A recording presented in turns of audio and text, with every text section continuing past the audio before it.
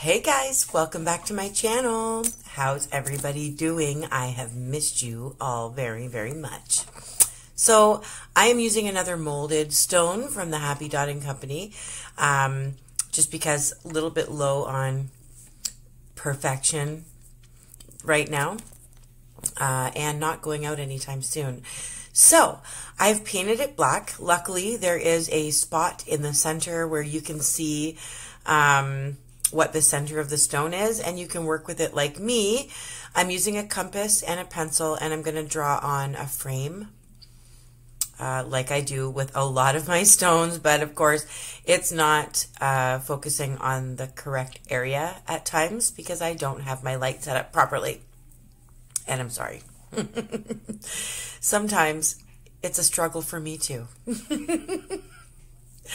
There, I moved my light out of the way. I moved a little bit closer and it slides around a little bit better now that I have it sitting on a little piece of plastic because that's what my problem was. It was actually like not wanting to budge while I was trying to draw circles on it.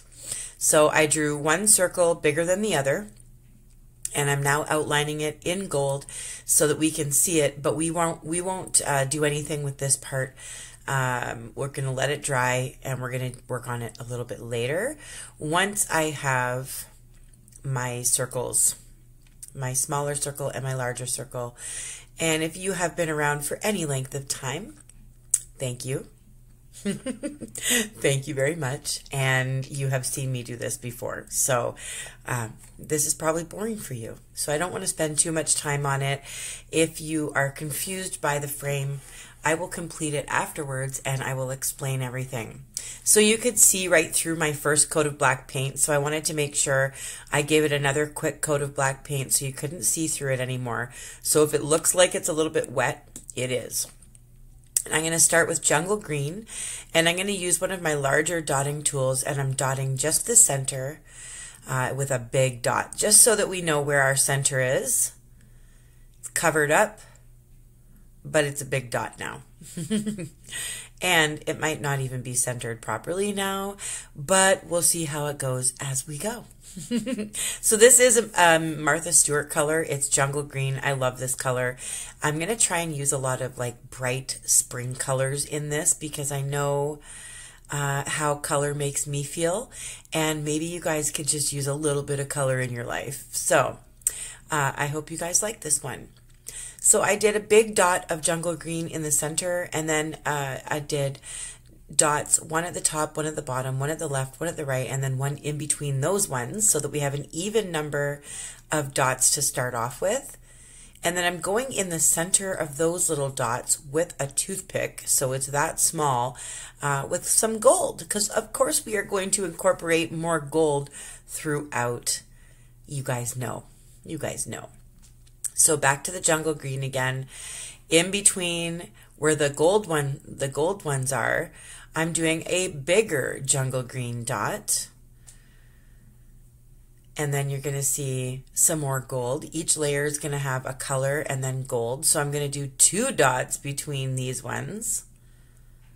Maybe you guys can slow it down um, so that you can see this a little bit better. I hope I haven't sped it up too much so that it's too confusing for you. So I'm going to be adding a little bit bigger of a jungle green dot right in front of those gold ones, just like we did last time. And you can see I'm just gradually using different dotting tools to get different sizes of dots. And we're just going to keep getting bigger and bigger as we go along and switching the colors. So now we have our third row of jungle green. This is going to look so beautiful, guys. This time I'm adding gold dots all the way around those biggest jungle green dots that we've created there. And I'm using a toothpick so the dots of gold are nice and small. We don't want our, our gold to outshine all the color. We want it to just accentuate it, make it look a little more fancy schmancy. so I will be bringing in some uh, light green, a nice bright lime green and we're going to do the same thing. We're going to incorporate dots in between all these jungle green dots. And I'm using another different size. You can see all the dots are different sizes. And I'm just kind of trying to make my green dots all the same size, um, but I'm not trying to be a perfectionist about it. Now we are bringing in a second row of green dots, and they're going to be much bigger than these ones. So you'll also see that some of them are kind of oddly shaped, and that's because I am not worrying about whether or not they're perfect. That's the last thing you want to do. You want to have fun with this. You don't want to stress about it. So we want to make this the least stressful time in your day. I will be uh, going around all of these dots as well with gold. I don't want to bore you guys, like I said. So um, I want to check on you, see how you guys are doing, see if you're uh, coping well. It's okay to not be okay right now, but I want to make sure that if there's anything I can do to help, I will. If you want a special tutorial, please let me know. I'm still jotting down all your ideas onto a big list and trying to get to each each one uh, when I can. So um, it's fun. I'm having a lot of fun with you guys, even though it's a little different right now. There's a little more tension behind it all. Um, use this as your your moment to get away. Use this as your moment of therapy. Art therapy is amazing. I don't know what I'd do without it. I said to my husband, I'm like, it's great that you guys are home and I get to spend so much time with you. Um, but I still need to paint. That's that's how I escape that's how I get away from it all. So I'm not much of a drinker. I don't drink wine or anything like that. I, I do like to have some Baileys in my coffee once in a while. Um, but but I'm not much of a drinker. I wish I could. I wish I could spend more time drinking. Um, it's just never been something that I got into, I guess. Um, but it's fun.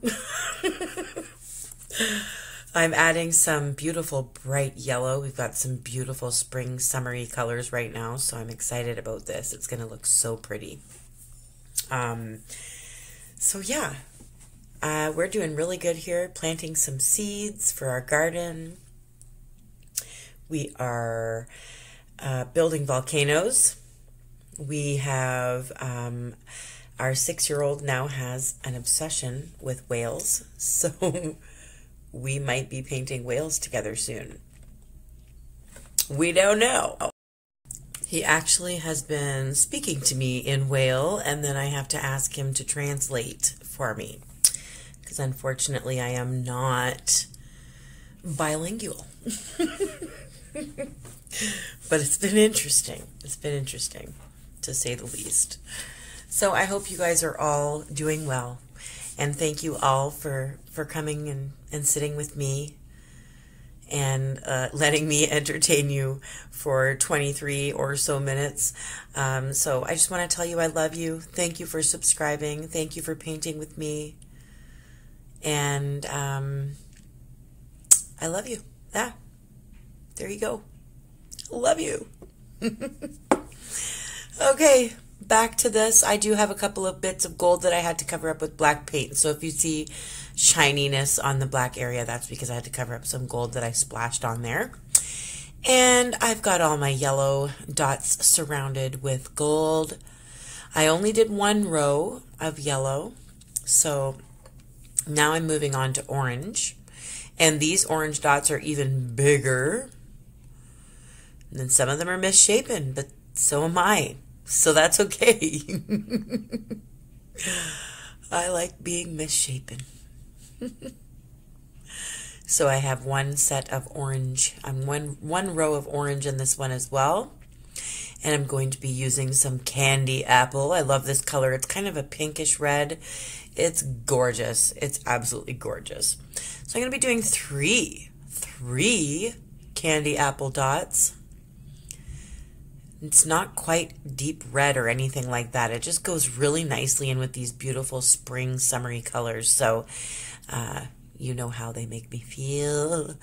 Uh, they make me feel so happy. So yes, look at this. You don't have you don't have to use uh, just one dot. If you want to do three, you can. If you want to do two, you can. It's completely up to you. It changes the look of everything. So now, of course, I got to dot around with some gold. I'm using a dotting tool now. Now, because these dots are much bigger, so I don't need to use a toothpick. I can work with a, a smaller dotting tool. I'm also going to be dotting around the little pinkish red ones. You'll see that shortly. So I am going to attempt to put a link on here so that you can click on that link and go straight to Happy Dotting Company. But if it doesn't work, I'm sorry.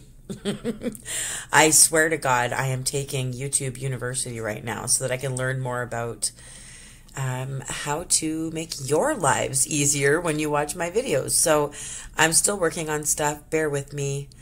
Um, I hope that I'm still able to help you even if the links don't work. Just check the description of my video. Uh, everything is located there as well, but I'm hoping the links work because they are a pain in the butt. So we have some dudgel, dudgel, dudgel. We have some double digit weather coming soon, and I'm excited to uh, spend some more time outside with the boys cleaning up the yard a bit, getting ready to plant flowers and stuff. And my son's going to have his own little garden. If we're going to homeschool, I'm going to teach him the necessities like planting vegetables and, uh, well, of course, learning how to speak whale. of course, you guys know. It's very important. So now that I'm sick of dots, I decided to get my fine lining brush out and uh, just put some nice little pointy petals around these uh, candy apple dots here. And I'm using my fine lining brush, which is always in the description of my tutorials as well. If you cannot find the description, just look up fine lining brush on my channel and you can watch that tutorial as well. So now I'm doing a little pointy petal off of these orange ones. And there's a method to this, I promise. it makes this part easier. So at the point of everything, we're going to put a little line touching our first uh, first frame circle of gold there. And then you go to the pointy petal and do a heart. Pointy petal, do a heart. And some of my hearts are not the exact same size because this is lopsided a little bit. My center dot was off centered. That's okay. It's still going to look really, really pretty. You guys know, you guys know it's always going to look really pretty when it's done anyway. So you can see it a little better now that I've moved it into your view. I'm going to be filling these hearts in with red. And you can see here, this kind of looks like another heart, but it's like a pointy heart. And basically, I'm just coming down into a point right where those orange dots are. I'll be able to show you a little bit better in a second. Once it's filled in with color, you can see what I've done a little bit better as well. But I will be doing two coats of this engine red in each of the hearts. Um, and while the the round heart shaped shapes, the pointy hearts are going to be purple. So I'm going to fill in the red first, and then we'll work on the purple afterwards. Then, and in the rest of it, it's just going to be dotted in blue. But you'll see. You'll see. I'm getting ahead of myself like I always do. I get so excited about what the next steps are that I go way ahead, and I really shouldn't. if you want to do like a lighter pink heart, or if you want to do purple hearts, or uh, if you just don't like putting a heart there at all, you don't have to. Uh, it's just one way to incorporate like a, a shape that you like into a mandala. And I like hearts. And who doesn't need a little bit of love right now? So why not? Why not put some hearts out for people? Lots of them. I don't have a problem with that. So I'm using Perfect Purple for these like pointy hearts in between the red hearts. I am not good with words, guys. Please forgive me. I know what I want to say before I open my mouth, but it just doesn't come out that way. I don't know if it's because I know I'm recording myself and it's a little more nerve wracking. But yeah, I am not good with it. Ooh, this is looking so pretty. Look at these colors. If you just sit back a little bit and take a look, it's like glowing from the center. I just love it so much. You could always use glow in the dark paints for something like this too, and it'd be pretty freaky when it's uh when the lights are out. so I have two coats uh, drying of the red and the purple. I've made sure to fill it in, make sure there's no spots missing. Can't see any black through there. I'm using a cerulean blue for the rest and a dotting tool. And I'm just filling in all around these hearts up until the framework. So anywhere you can see a black space between the purple and red hearts, um, that's all going to be cerulean blue. Now, uh, you might have seen my, oh my dear, you may have seen um, me use a sparkling red nail polish in my Betty Boop rock tutorial. I think I've used it in other ones as well, possibly on a gnome tutorial. I'm not really sure. Uh, but yeah, there's a red sparkling nail polish, and it's a gel polish where you use an LED lamp or a UV lamp in order to uh, dry the polish. And so I'm going to be putting that on my hearts, on the red ones today. And I'll show you how I do it, and I'll list everything in the description I get mine from Amazon. It lasts me a really long time. I'm a, a, nail polish addict to begin with, and so I just kind of have all of this stuff on hand. Don't go out and buy it. You don't need to have it. You can just put glitter paint on the hearts, and it will look just as beautiful. Um, but I just use a lot of funky stuff on my rocks, and uh, I did say funky, F U N K Y, YouTube. Please do not get upset by that word on my channel. Um, but yeah, you don't have to use the LED nail polish by by all means. Use whatever you want. You can even use like a clear glue, cover the heart with clear glue, and then sprinkle red glitter onto it. Let it dry. Brush all the excess glitter off, and then seal it uh, later on.